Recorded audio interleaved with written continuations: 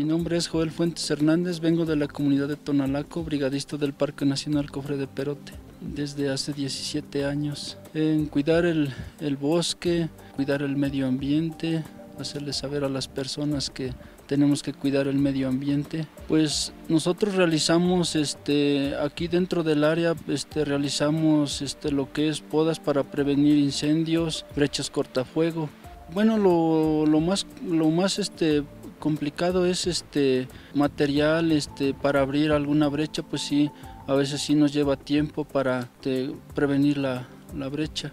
No, pues es un es un trabajo que pues sí ya ya llevo tiempo aquí en el dentro del Parque Nacional y sí, pues la verdad ellos se sienten a gusto cuando yo me vengo a trabajar y este, pues sí saben los riesgos que contiene el trabajo, pero pues sí, están muy felices de que sea yo brigadista. Pues invitarlos a que se sumen a, este trabajo. Es muy bonito, hay, hay compañeros que apenas iniciaron y sí, pues se sienten a gusto aquí con nosotros. Ahorita de los que iniciamos aquí desde hace 17 años ya nomás quedamos dos personas, que soy yo de Tonalaco y un compañero de acá de Tembladeras, que ya nomás somos dos personas de las que llevamos más tiempo, pero hay este, jóvenes que ya se están incorporando aquí con, con la brigada. Pues sí, invitarlos a, algunos compañeros que se quieran sumar aquí a, al trabajo para conservar a, el medio ambiente porque pues como quiera pues nosotros este pero hay gente joven que pues incluso pues ya estamos sintiendo las consecuencias de que ya está faltando el agua y debemos conservar y hacerles saber a los visitantes que llegan aquí a la montaña que no deben dejar basura no deben de hacer fogatas pues es un riesgo para la naturaleza. De nada a ustedes. Gracias